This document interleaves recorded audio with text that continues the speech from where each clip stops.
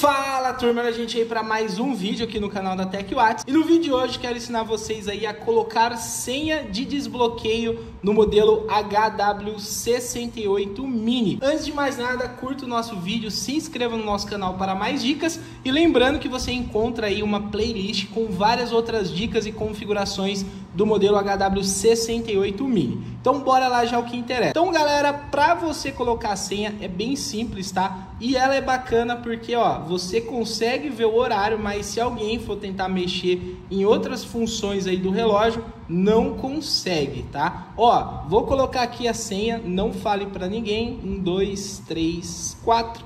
Desbloqueei, tá? É bem simples, turma, ó. Arrasta o dedinho aqui para baixo, vem nas configurações e vai até lá embaixo, ó. Tá bem aqui no final. Ele tem a opção de senha. É só você selecionar eu vou tirar minha senha aqui só para vocês verem é, como é que faz, ó. Então, ó, ele vai estar tá desse jeito aqui que está mostrando na tela. Seleciona e aí você coloca a sua senha, ó. Pronto. Aí, ó, confirma. Ele falou que a senha é muito fácil, certo? Se você quiser alterar a senha, você vem aqui, ó, onde está escrito mudar a senha, mas não vou alterar, vou deixar ela mesmo Ó, e aí toda vez que a tela apagar, ó, ela vai apagar e aí você, ah, quando for mexer em outras funções, ó, sem ser o horário, ele pede a senha, tá vendo?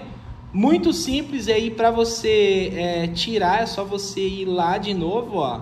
Não quero mais a senha. Vem aqui na opção de senha, seleciona aqui, ó, desflega, coloca a senha e Pronto, ó, ele já tirou a senha, não vai pedir mais a senha. Beleza, turma? É bem simples, bem fácil e espero aí ter ajudado vocês e até o próximo vídeo aí do nosso canal.